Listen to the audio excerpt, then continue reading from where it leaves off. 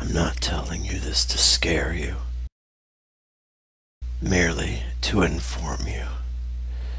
There is a reason we fear the dark. Let me show you.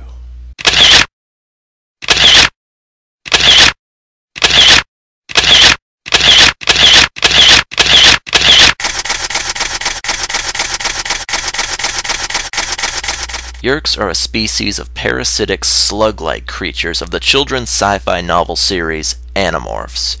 A Yeerk will enter its host through the ear, flatten itself, travel through the ear canal until it reaches the brain, and then envelope it entirely. Once this has happened, it will take over all of that creature's voluntary functions, including motor skills, communication, and body motion. Seeping into the crevices of the brain, it can look through its host's memories and secrets to learn everything about them. The host then becomes little more than a voice in its own head as the parasite drives it around like a living vehicle. Yeerks must leave a host body every three days in order to absorb a nutrient called candrona. Kandrona is a type of energy produced by the sun near the Yeerk's homeworld. Later, they developed Kandrona ray machines so that they could travel the stars in host bodies and not starve. Because of their slug-like nature, they often construct Kandrona pools so that while they feed, they may swim around and be comfortable. As soon as the Yeerk leaves its host, the host regains control of their body and functions. Unfortunately, the Yeerks are smart enough to either restrain or cage their hosts beforehand so that they don't lose them. The Yeerk government is that of an empire, with a council of 13 to run it. Below them are their main leaders, the Vissers and the sub-Vissers. The only problem with their ranking system is that the Vissers work independently of each other and are prone to infighting to try and increase their own rank.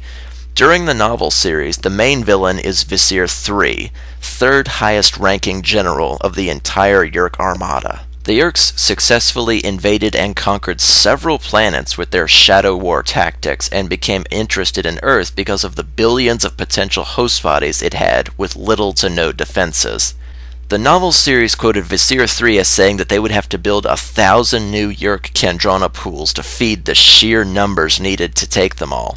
Eventually, it was implied that there were around 3 billion Yeerks traveling the stars, and Earth at the time had 5.8 billion people.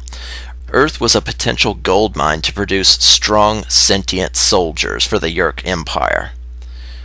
Once a Yeerk has latched onto a host and has read through its memories, it's almost impossible to tell them apart from a normal person.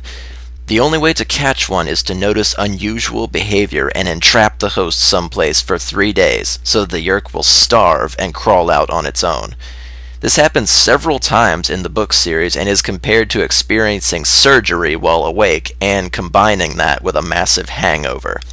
In their slug form, they are perfectly mortal, but good luck telling which one of your friends is infected with this parasite when it reads their memories and acts just like them.